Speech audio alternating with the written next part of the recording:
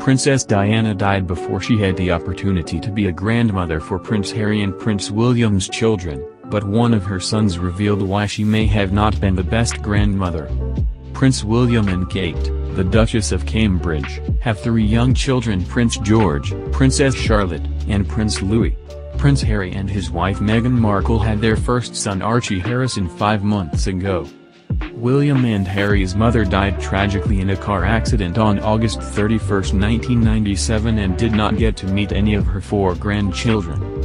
While many royal fans have wondered what the late Princess Diana would have been like as a grandmother to the royal brood, Prince William had his own response. According to the Duke of Cambridge, Diana would have been an absolute nightmare grandmother. Before Prince Louis's birth, William described how his mother would have been with his children. He said, she'd be a nightmare grandmother, an absolute nightmare. She'd love the children to bits, but she'd be an absolute nightmare. She'd come, probably at bath time, cause an amazing scene, bubbles everywhere, bath water all over the place, and then leave. William made the dramatic revelation in the documentary Diana, Our Mother, Her Life and Legacy, which was aired on ITV in July 2017. After the made the shocking statement, William joked and admitted that his mother would have made a lovely grandmother.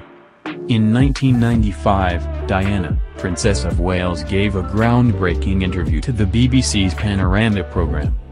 The princess spoke frankly and unfavorably about royal family life and openly questioned Prince Charles' suitability to be the next king. The interview sent courtiers into a spin and prompted them to fear Diana may not be the best person to mentor her son William in royal ways. Diana's private secretary Patrick Jephson said, it was no secret that towards the end of her life, reactionary elements in the establishment were questioning her desirability as a mentor in the art of kingship. Queen Elizabeth II was consequently urged to step in to guide the sound prince as to what was expected of him as an heir.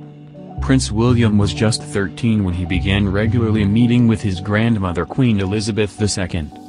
They would have lunch at Windsor Castle together when Prince William was a pupil at Eton. While William had always been aware of his duty as an heir, his grandmother stepped in to guide him in the wake of the sensational TV interview given by his mother, Princess Diana. The garden was allegedly one of Diana's preferred spots in Kensington Palace. There is also speculation that if Harry and Meghan have a daughter in the future, they would name her after Diana. The Duke and Duchess of Sussex are currently on tour in South Africa with their four-month-old son Archie Harrison Mountbatten Windsor. Harry visited Angola during the trip, just as Diana did in 1997, to visit the anti-landmine legacy left behind by the late Princess of Wales. The couple leave South Africa on October 2.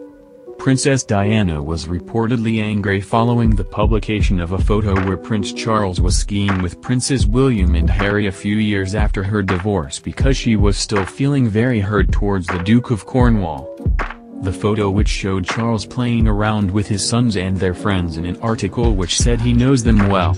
Diana was reportedly jealous by the photo, according to former editor of the Sunday Mirror and Sunday Express Eve Pollard. She explained Diana was very maternal over Harry and William and would often be photographed with them at theme parks and on holidays. Speaking to Yahoo's Royal Box, Eve Pollard said, this is years and years later and by now she was I think certainly separated, maybe divorced, from Prince Charles. There was a lovely picture of him taking William and Harry skiing I think and they were accompanied by two other boys and in this picture I think Prince Charles pretended to strangle one of the boys. We wrote a piece saying he obviously knows his son's friends well, which means he obviously spends quite a bit of time with them, otherwise you wouldn't pretend to strangle a child, and I think she wasn't very pleased with that. She was the earth mother to these boys, you know. All those pictures of them at Alton Towers and all those pictures of them on holidays, on Necker, all sorts of places. And this was at the stage where I think she was still feeling very hurt and aggressive towards Charles. You know, there are stages in life and it happened then. Her comments come as youngest son, Harry, is paying tribute to his mother on his royal tour in Africa. The Duke of Sussex opened a hospital in Angola which is dedicated to Diana. Harry described the visit as a deeply personal one during a speech at the hospital. He said his mother would have been delighted to see how the hospital had developed since her visit. At the time Diana visited the hospital's ward was filled with victims of landmines. He said, It has been an honor to retrace my mother's steps today. I lost her 22 years ago but her memory is with me daily and her legacy lives on. Which is why I am so happy to name this center the Princess Diana Orthopedic Center. During the tour he stopped off at the rehabilitation room and observed the making of prosthetic limbs in the workshop.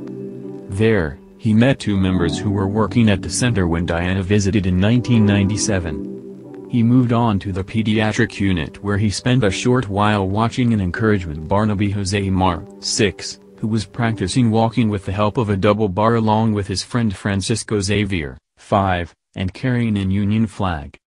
Barnaby's mother later explained that he had been born with a paralysis and has had trouble holding himself up and controlling his limbs since he was of the age to learn to